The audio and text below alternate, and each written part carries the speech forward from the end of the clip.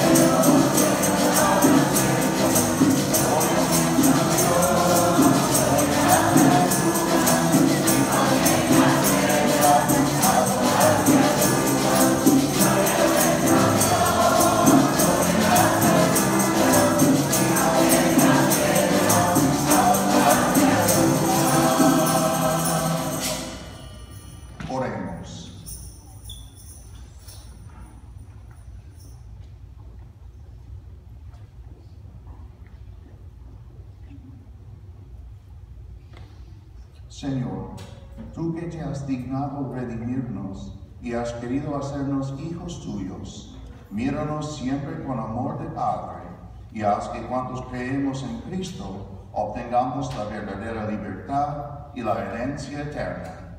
Por nuestro Señor Jesucristo, tu Hijo, que vive y reina contigo en la unidad del Espíritu Santo, y es Dios por los siglos de los siglos. Amén.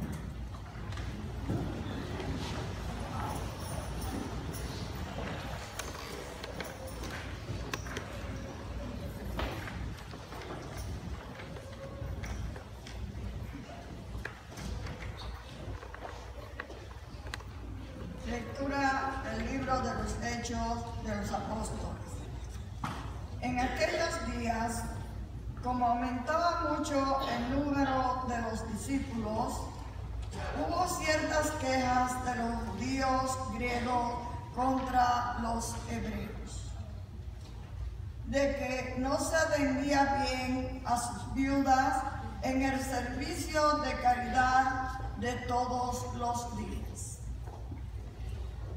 Los doce convocaron entonces a la multitud de los discípulos y le dijeron, no es justo que dejando el ministerio de la palabra de Dios, nos dediquemos a administrar los bienes. Escojan entre ustedes a siete hombres de buena reputación, llenos del Espíritu Santo y de sabiduría, y los cuales encargamos ese servicio. Nosotros nos dedicaremos a la oración y al servicio de la palabra. Todos estuvieron de acuerdo y eligieron a Esteban, hombre lleno de fe del Espíritu Santo, a Felipe, Prólogo, Nicanor, Timón, Palmeras y Nicolás, prosélitos de Antioquía. Se los presentaron a los apóstoles y estos después de haber orado le impusieron las manos. Mientras tanto, la palabra de Dios iba cundiendo en Jerusalén se multiplicaba grandemente el número de los discípulos. Incluso un grupo numeroso de sacerdotes había aceptado la fe. Palabra de Dios. piedra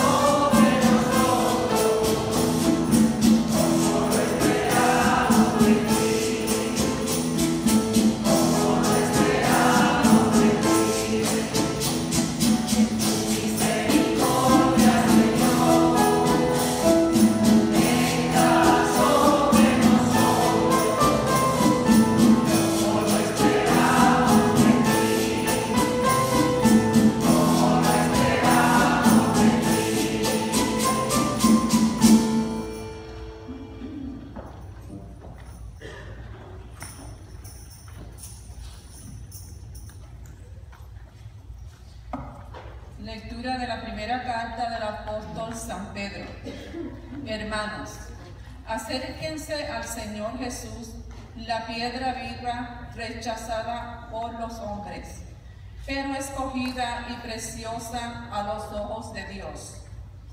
Porque ustedes también son piedras vivas que van entrando en la edificación del templo espiritual, para formar un sacerdocio santo, destinado a ofrecer sacrificios espirituales agradables a Dios por medio de Jesucristo. Tengan presente que está escrito, he aquí que pongo en Sion una piedra angular, escogida y preciosa. El que crea en ella no quedará defraudado. Dichosos pues ustedes, los que han creído. En cambio, para aquellos que se negaron a creer, vale lo que dice la escritura. La piedra que rechazaron los constructores ha llegado a ser la piedra angular. Y también tropiezo y roca de escándalo. Tropiezan en ella los que no creen en la palabra. Y en esto se cumple un designio de Dios. Ustedes, por el contrario, son estirpe es elegida, sacerdocio real, nación consagrada a Dios y pueblo de su propiedad, para que proclamen las obras maravillosas de aquel que los llamó de las tinieblas a su luz admirable. Palabra de Dios. El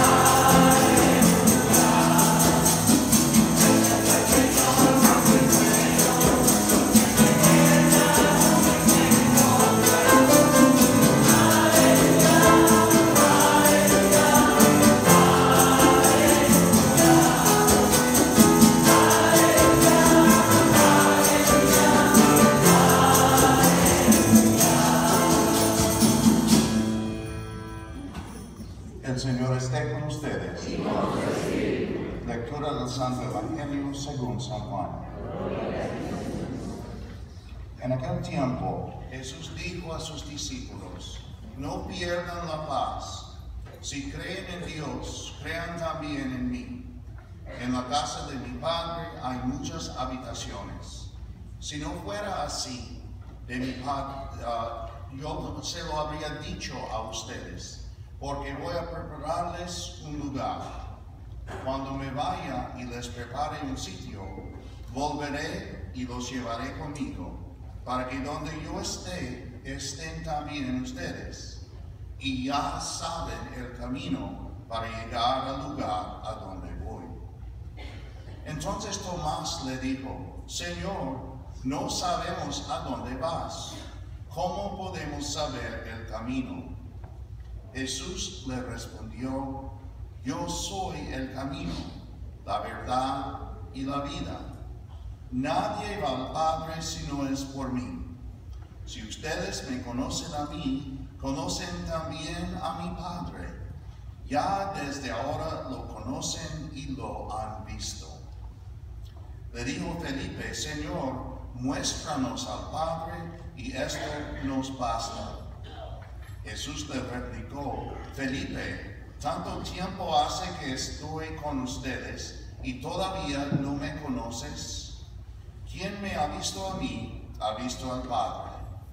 Entonces, ¿por qué dices, muéstranos al Padre?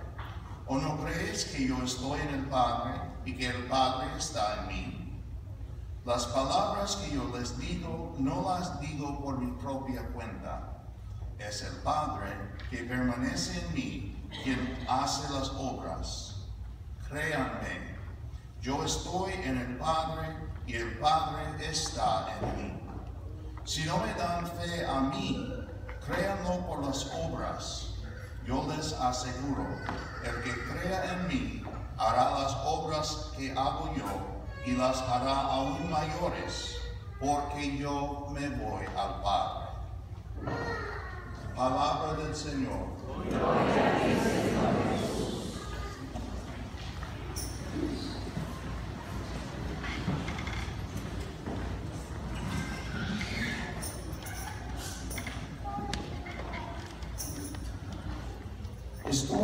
tratando de recordar cómo es ser un adolescente, un teenager.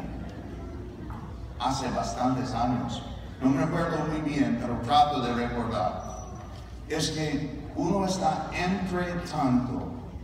No es niño y no es adulto.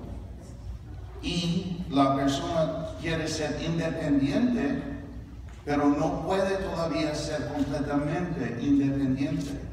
Depende, todavía en sus padres, pero está creciendo y va aprendiendo. Y pronto viene el tiempo en que va a ser adulto y salir de la casa. Un adolescente está tratando de aprender a manejar. Lo sabe un poco, pero no lo sabe completamente todavía.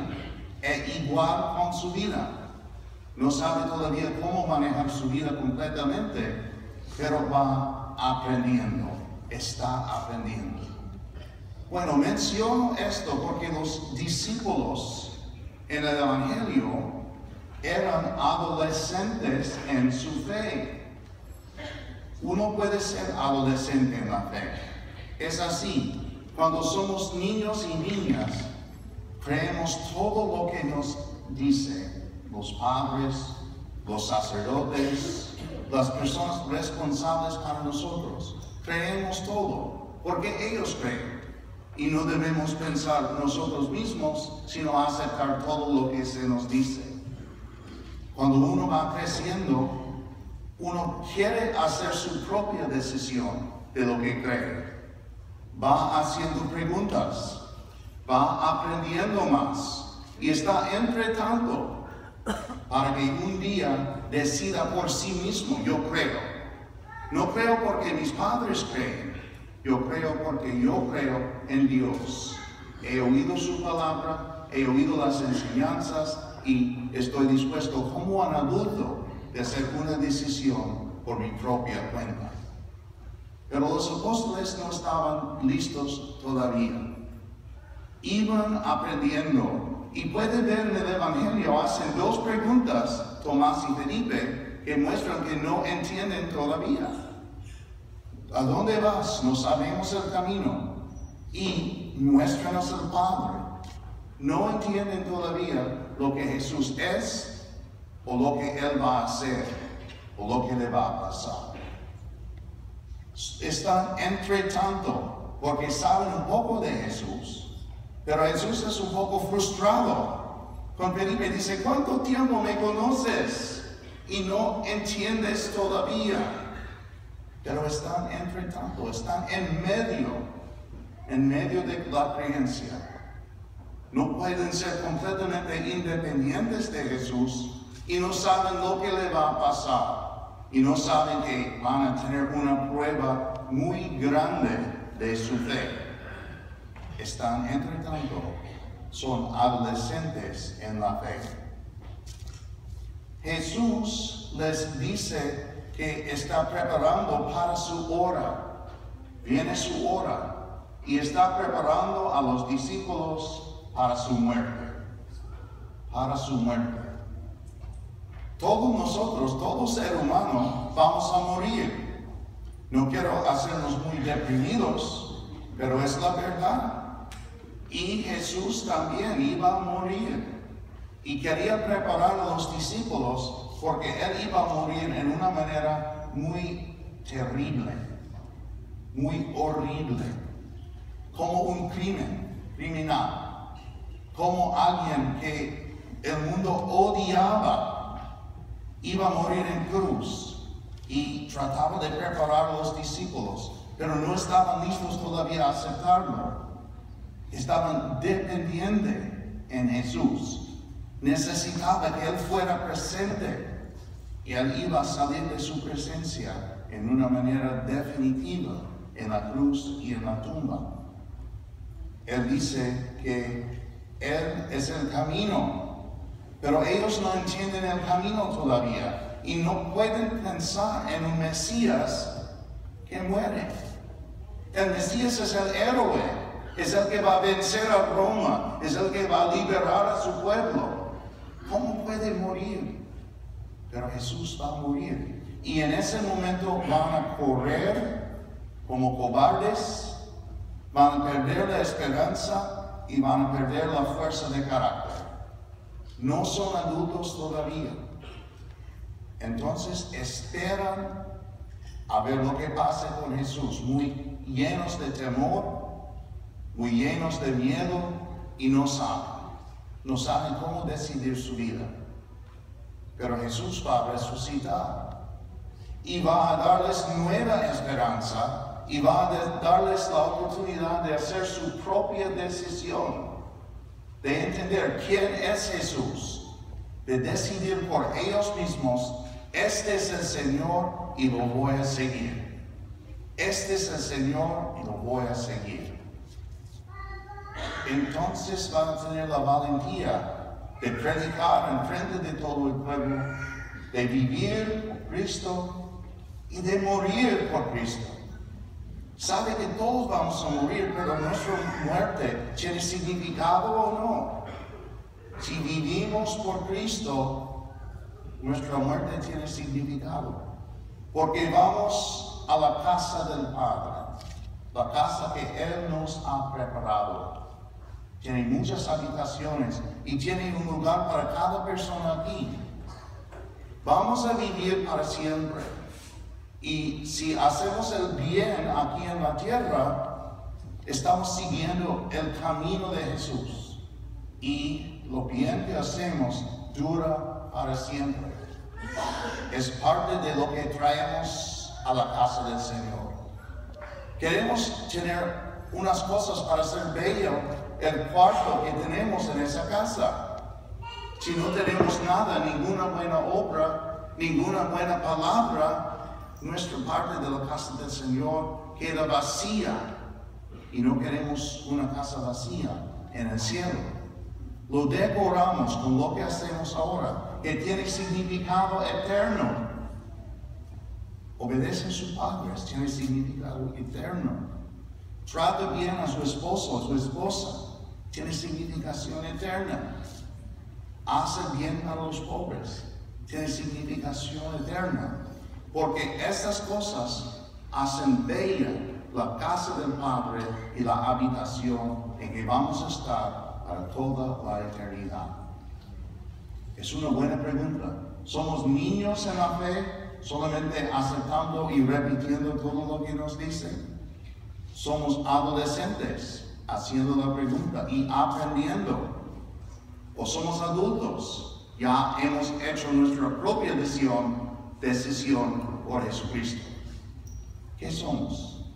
Es una pregunta muy importante, porque estamos en proceso, en el camino de Jesús, aprendiendo la verdad y buscando la vida, que lo encontremos, que lo encontremos en nuestra propia fe aquí en la tierra, en las cosas buenas que hacemos y en la fe que nos conduce a la vida eterna.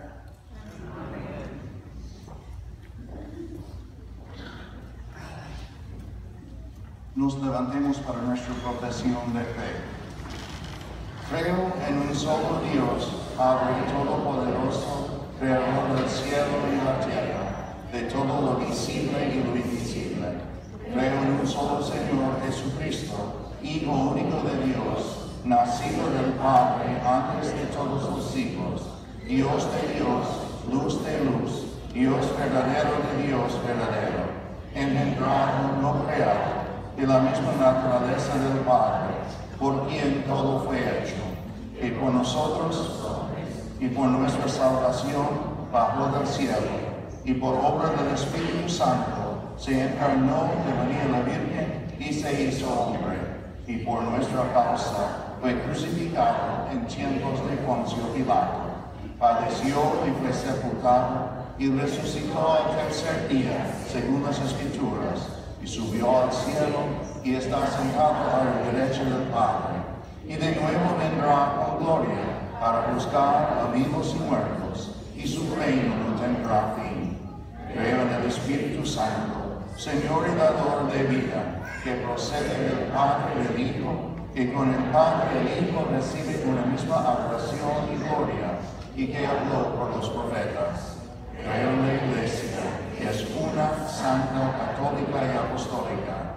Confieso que hay un solo bautismo para el perdón de los pecados.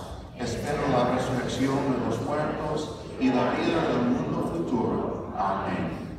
Oremos. Los primeros diáconos dieron testimonio de servicio a la comunidad de creyentes. Participemos también nosotros en el servicio mutuo y oremos con fervor por los que fueron bautizados este año y todos los bautizados del mundo, para que la gloria de Cristo resucitado sea siempre nuestro gozo, roguemos al Señor.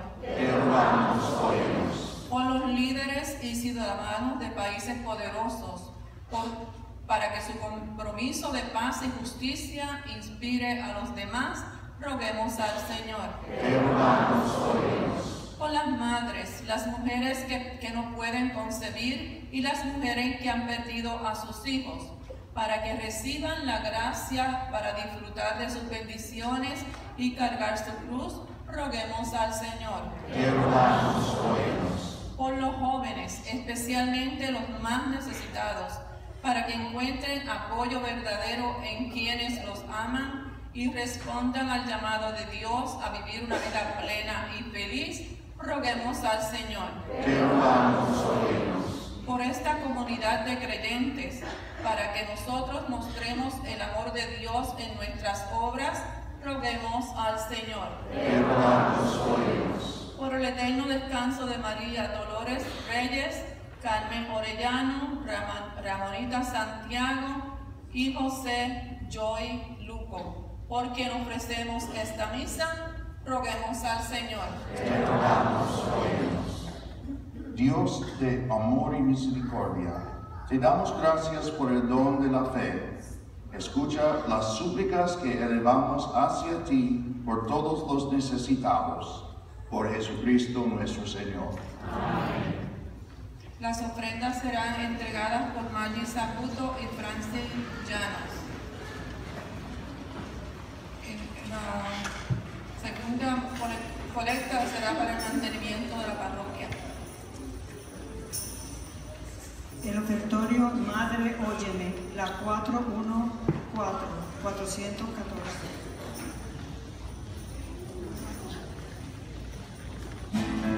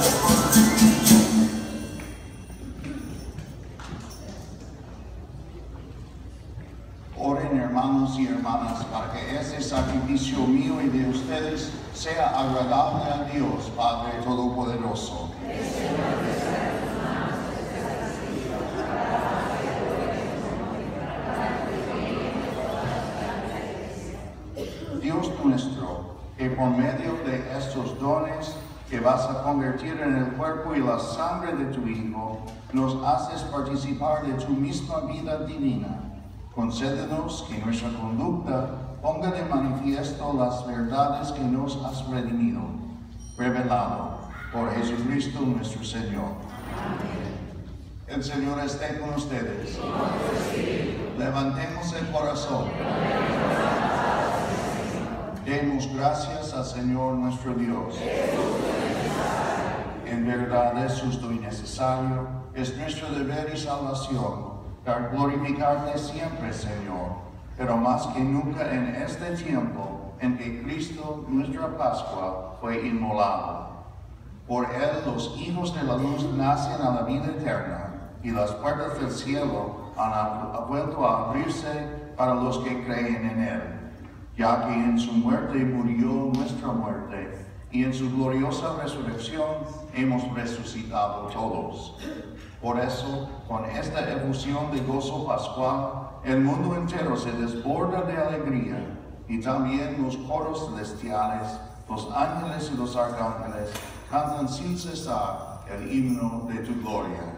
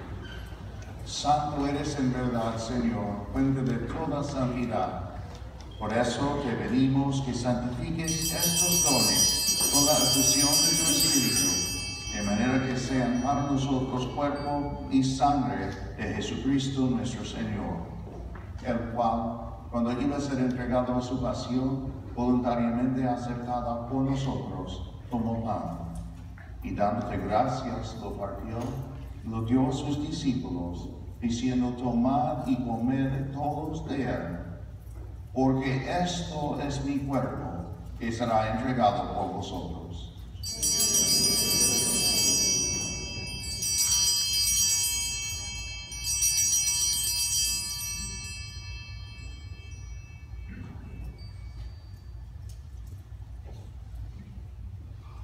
Del mismo modo, acabando la cena, tomó el cáliz, y dándote gracias de nuevo, lo pasó a sus discípulos, diciendo, tomad y bebed todos de él, porque este es el cáliz de mi sangre, sangre de la alianza nueva y eterna, que será derramada por vosotros y por todos para el perdón de los pecados. Haced esto en conmemoración mía.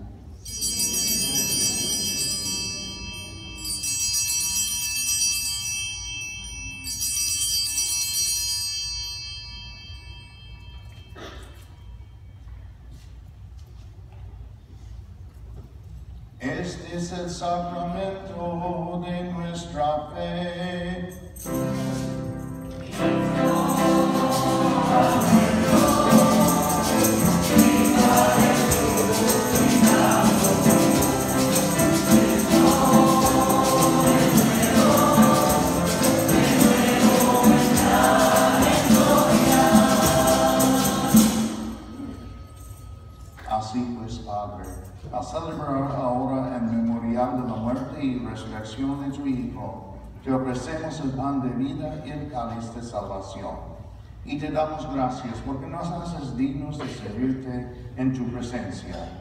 Te pedimos humildemente que el Espíritu Santo congregue en la unidad a cuantos participamos del cuerpo y sangre de Cristo. Acuérdate, Señor, de tu iglesia extendida por toda la tierra, y con el Papa Francisco, con nuestro obispo Juan y todos los pastores que cuidan de tu pueblo, llévala a su perfección por la caridad.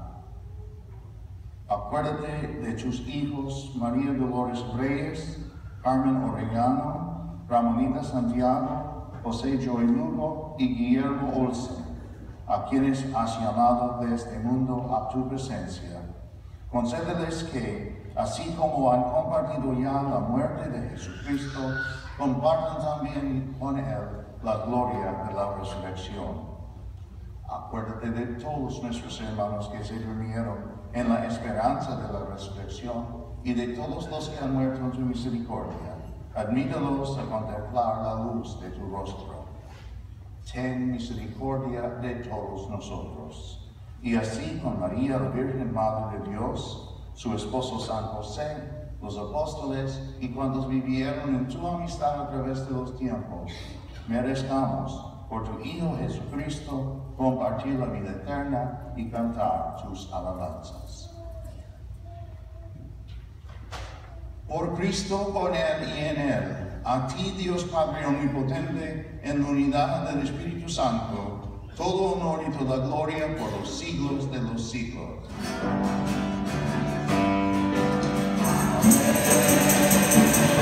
Ahora,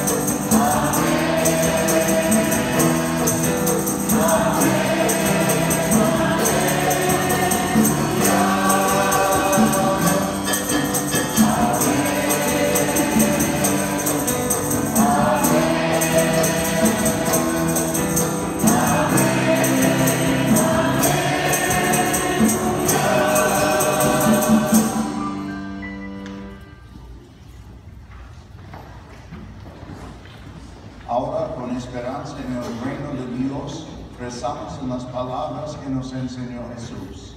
Padre nuestro que estás en el cielo, santificado sea tu nombre. Venga a nosotros tu reino. Hágase tu voluntad en la tierra como en el cielo. Danos hoy nuestro pan de cada día. Perdona nuestras ofensas, como también nosotros perdonamos a los que nos ofenden. No nos dejes caer en tentación y líbranos del mal. Líbranos de todos los males, Señor, y concédenos la paz en nuestros días, para que, ayudados por tu misericordia, vivamos siempre libres de pecado y protegidos de toda perturbación, mientras esperamos la gloriosa venida de nuestro Salvador Jesucristo. Tuyo es el gloria Señor. Señor Jesucristo, y dijiste a tus apóstoles, la paz les dejo, mi paz les doy. No tengas en cuenta nuestros pecados, sino la fe de tu iglesia, y conforme a tu palabra, concédele la paz y la unidad, tú que vives y reinas por los siglos de los siglos. La paz del Señor esté siempre con ustedes. Ordenemos uno al otro una señal de la paz.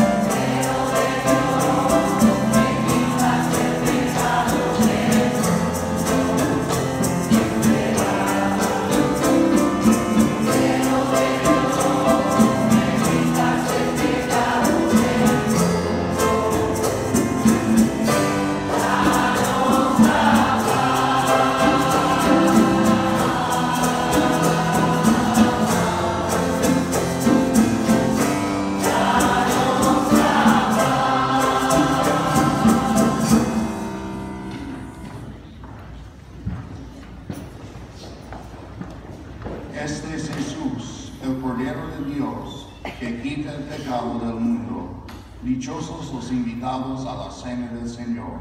De en mi casa, tuya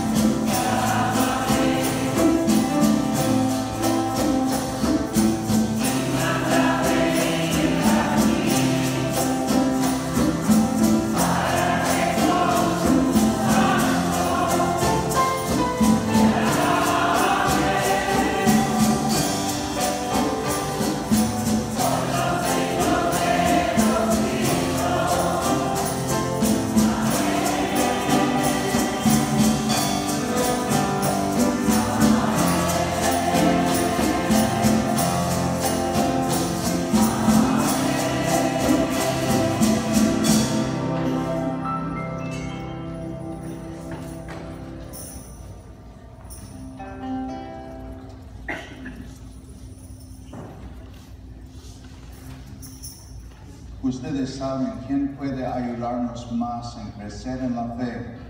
Es nuestra Madre, nuestra Madre María. Y ahora los niños van a venir con flores para coronar nuestra imagen de la Santísima Virgen María.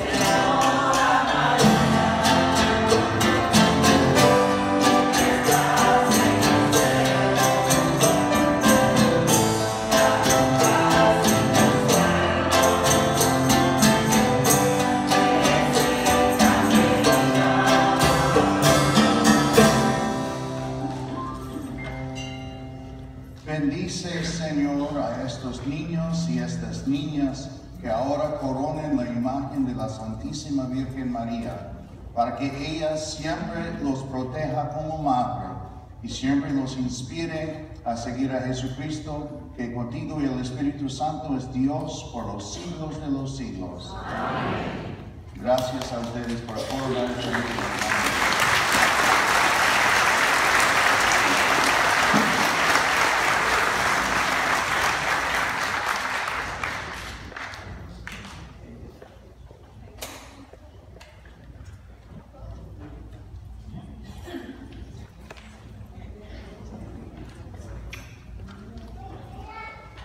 Oremos. Señor, tú que nos has concedido participar en esta Eucaristía, míranos con bondad y ayúdanos a vencer nuestra fragilidad humana para poder vivir como hijos tuyos. Por Jesucristo nuestro Señor. Y favor de sentarse otra vez.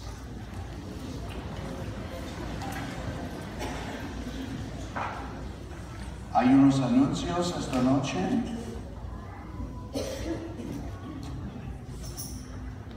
El Concilio de Mujeres Católicas va a tener un, lo que se llama Senior Prom, pero no es para seniors en la escuela, la secundaria, sino para personas 55 años y arriba, los seniors.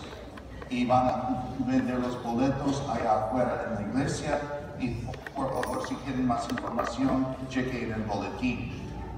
Como ustedes saben, Padre Kenny va a llevar a unas personas a un peregrinaje a Israel y e Italia este noviembre. Si alguien ya sabe que quiere ir en este viaje, por favor, hablen con Padre Kenny para que se pueda inscribir firmemente que van, porque hay solamente cierto número de sitios. Entonces, si están seguros, hablen con Padre Kenny.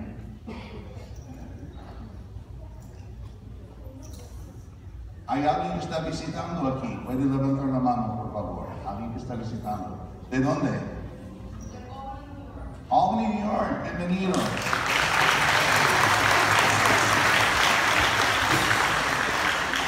¿De dónde? Oh, ok,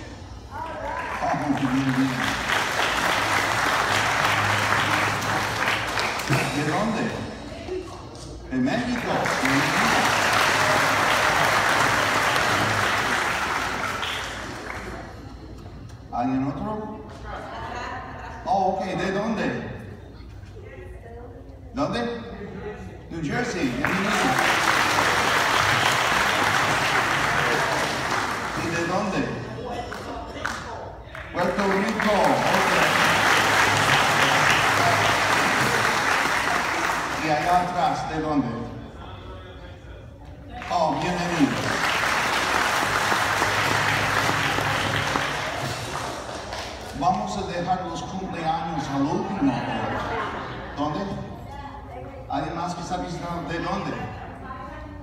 New Jersey, wow.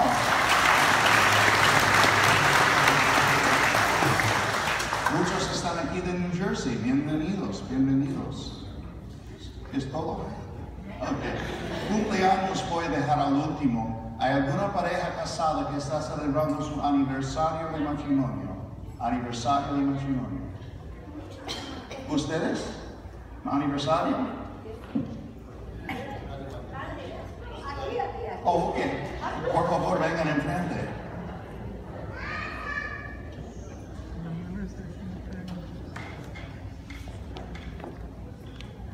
¿Cuántos años? 51. 51, wow.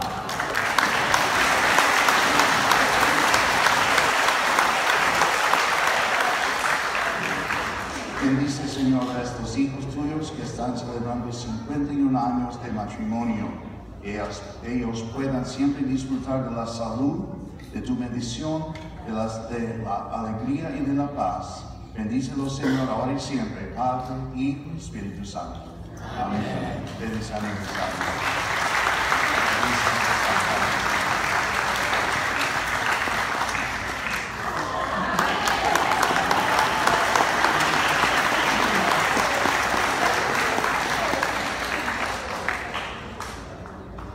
Ok, vamos a dar el positivo de, de vocaciones antes de cumpleaños.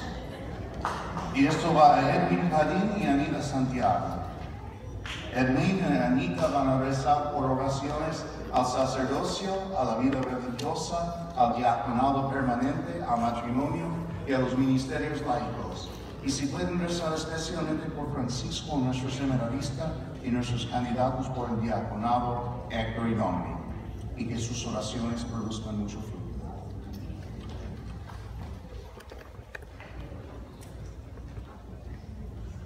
Ahora, cumpleaños. Hay alguien que está celebrando cumpleaños. ¿Cuántos añitos?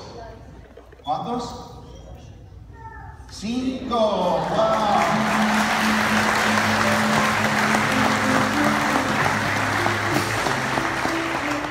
Eloisa. Quinceañera. Oh, yo sé. Ella es la última. Ella es la última. La quinceañera. Wow, ok.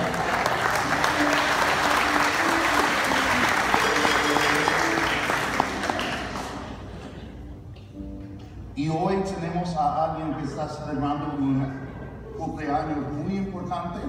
Y esa es María Moreno, que está celebrando 16 años.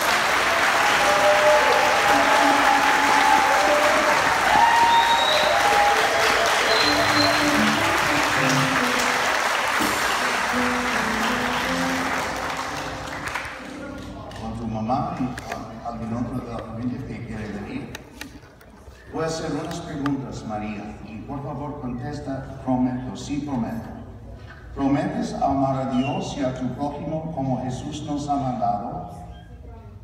¿Prometes amar y respetar a los miembros de tu familia y estar respetuosa en la iglesia, la escuela y la sociedad? Prometes a tener amor propio y respeto a ti misma a través de la pureza, el cuidado del cuerpo y mente y la integridad de todo lo que dices y haces. Oremos. Señor, nos has creado en tu propia imagen, nos has redimido por el sacrificio de Jesucristo y nos has dado al Espíritu Santo por medio de los sacramentos de tu iglesia. Bendice a esta joven que se presenta ante ti hoy y disfrute de tu presencia, permanezca bajo tu protección y obedezca tus leyes todos los días de su vida. Llénala, Señor, con tu fuerza para resistir toda tentación. Ayúdala, Señor, en la educación, en su vida de familia y en la vocación que tú vas a revelar en ella según tu voluntad. Esté con ella y con su familia y amistades en este día especial y en todos los días de su vida. Te lo pedimos por Cristo nuestro Señor. Y tenemos una canción especial para ti.